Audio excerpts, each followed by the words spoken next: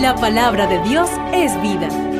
Ilumina nuestro corazón y alimenta el alma. Radio Natividad presenta el Evangelio de hoy. Lectura del Santo Evangelio según San Lucas, capítulo 1, versículos 26 al 38. Gloria a ti, Señor. En aquel tiempo, el ángel Gabriel fue enviado por Dios a una ciudad de Galilea, llamada Nazaret, a una virgen desposada con un varón de la estirpe de David, llamado José. La virgen se llamaba María. Entró el ángel a donde ella estaba y le dijo, Alégrate llena de gracia, el Señor está contigo. Al oír estas palabras, ella se preocupó mucho y se preguntaba qué querría decir semejante saludo. El ángel le dijo, no temas, María, porque has hallado gracia ante Dios. Vas a concebir y dar a luz un hijo, y le pondrás por nombre Jesús.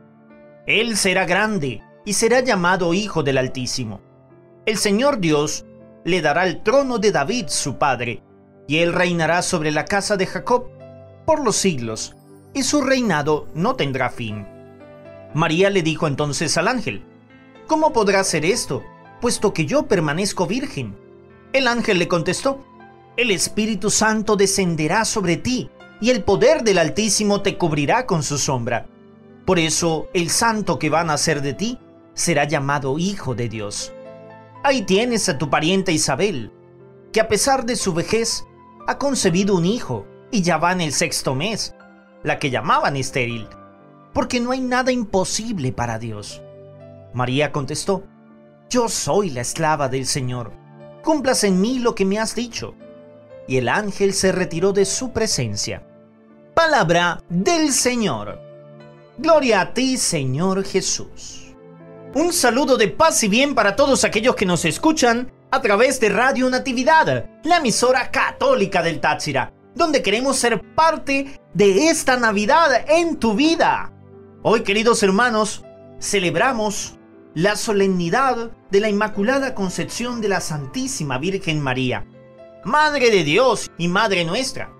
Esta celebración, esta solemnidad no debe confundirse de ninguna manera con la concepción virginal de la Virgen que concibió a su Hijo en su seno por obra y gracia del Espíritu Santo.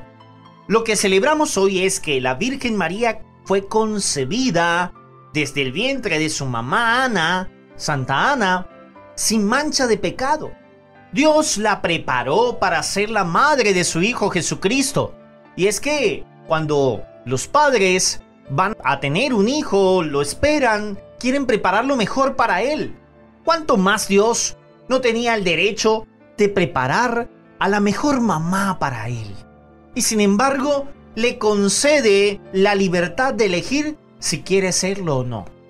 Envía al ángel y le pregunta, le dice, ha sido elegida para ser la madre del Señor. María solo pregunta algunos detalles. ¿Cómo podrá ser si permanece virgen? El ángel le dice que así va a continuar, que no se preocupe, que el Espíritu Santo descenderá sobre ella y el poder del Altísimo la cubrirá con su sombra. Por eso el santo que va a nacer de ella será llamado Hijo de Dios. ¡Qué hermoso, hermano! La Virgen María aceptó. Hay algo importante aquí a reflexionar primero. Tú y yo nos estamos preparando sin mancha para el nacimiento de Jesús. Nos estamos preparando para merecer que Él nazca en nuestras vidas. Y segundo, ante esa propuesta de Jesús de nacer en nosotros, ¿somos capaces de responder como la Virgen, soy la esclava, soy el esclavo del Señor, hágase en mí según tu palabra? ¿O seguimos haciendo la voluntad del enemigo, la voluntad del mundo, la voluntad de todo aquello que quiere manchar nuestro corazón y nuestra vida para que Jesús no nazca en esta Navidad tampoco en nuestro corazón. Jesús quiere nacer en ti. Hey, escúchame, si quieres ponle un poquito más de volumen al radio para que lo oigas. Jesús quiere nacer en ti. Acéptalo. Dios te bendiga. Gloria al Padre y al Hijo y al Espíritu Santo como era en el principio, ahora y siempre, por los siglos de los siglos. Amén.